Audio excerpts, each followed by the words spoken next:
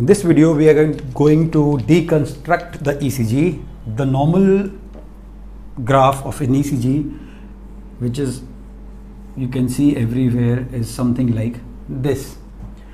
Now, if we deconstruct it, the first positive deflection is called the P wave. The first positive deflection, the positive deflection means if it is above the isoelectric line, it is called a positive deflection. If it is below the isoelectric line, it is called a negative deflection. So, the first positive deflection is the P wave, which represents the atrial depolarization. Now, the second important thing is your PR interval. What is a PR interval? From the starting of the P wave to the starting of a QRS complex is called the PR interval. PR interval is starting of the P wave to starting of the QRS complex. This thing is called the PR interval. What is the PR interval? The time required for the current to pass from the atria to the ventricle is called the PR interval. So, PR interval duration of electric current to reach to ventricles. Now, the next negative deflection is called the Q wave. After that, the positive deflection is called the R wave, and after that, the negative deflection is called the S wave, and total combined, it is called the QRS complex.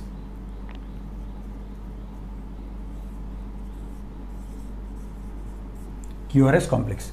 After that, the segment on this isoelectric line, which is from the S wave junction to starting of the T wave, is called ST segment. Now we will have a separate video simply and with most important importantly to ST segment. But right now we will see the deflections. Next positive deflection is your T wave. Now we will have some calculations to see what is the normal durations of these waves. The P wave is normally two and a half small squares. So if we see in seconds, one small square is 0.4 seconds. In milliseconds, one small square is 40 milliseconds. So that means two and a half small squares will be equal to 40, 40 plus 20, that is 100 milliseconds. PR interval usually lies between 3 to 5 small squares. 3 to 5 small square is 120 millisecond to 200 millisecond. Your Q wave, this Q wave should always be less than one fourth of the coming or the consecutive R wave. And the Q wave should not be larger than one small square. Not larger than one small square. That means it should be less than 0.04 seconds or 40 milliseconds. Next comes your QRS complex. What is the QRS complex duration?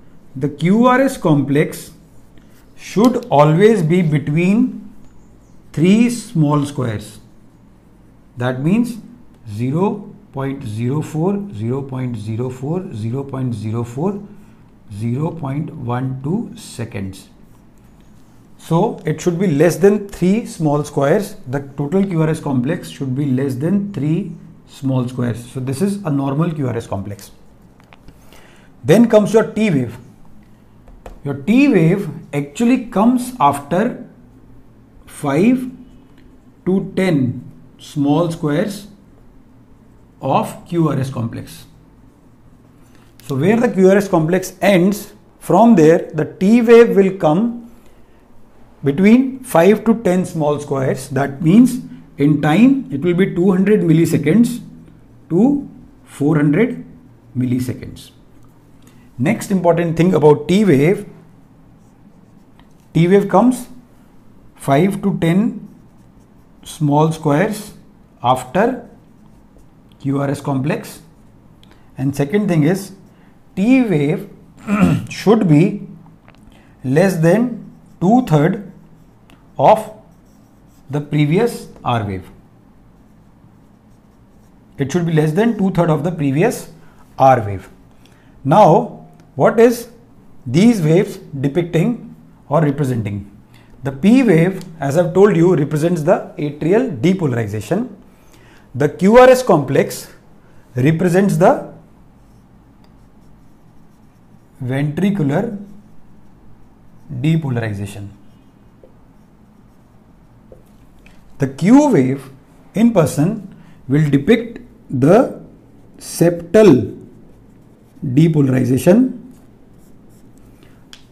The R wave early ventricular depolarization and the S wave delayed ventricular depolarization. The ST segment depicts ventricular mechanical activity. The T wave represents the ventricular repolarization. In cases of hypokalemia, you will see patients will also have a Q wave after the T wave. So this, sorry, U wave after the T wave. So this U wave represents U wave in cases of hypokalemia. This U wave represents delayed Purkinje fiber repolarization. Delayed Purkinje fibers repolarization. So, normally what exactly is happening? P wave shows atrial depolarization. Now the atrial repolarization and the beginning of the QRS complex occurs together. So because it has a it, is, it has more sharp deflections, the QRS repolarization is not seen here P wave, atrial depolarization, PR interval, the current will reach from the atria to the ventricles, the ventriculars will depolarize, Q wave, septal depolarization, early ventricular depolarization, S wave, delayed ventricular depolarization. After this, there will be ventricular mechanical activity and then the ventricle starts to repolarize. And in cases of hypokalemia, you can see a U wave. And U wave usually shows your delayed Purkinje fibers repolarization in terms of duration, P wave is two and a half small squares. PR interval lies between three to five small squares. Q wave should always be between one small square. QRS in total should be less than three small squares. T wave, T wave appears uh, from this QRS, the T wave appears between 5 to 10 small squares and U wave will seen in cases of hypokalemia. Another important thing which you have to remember is the QT interval. The QT interval. The QT interval is from the beginning of the QRS complex to end of the T wave.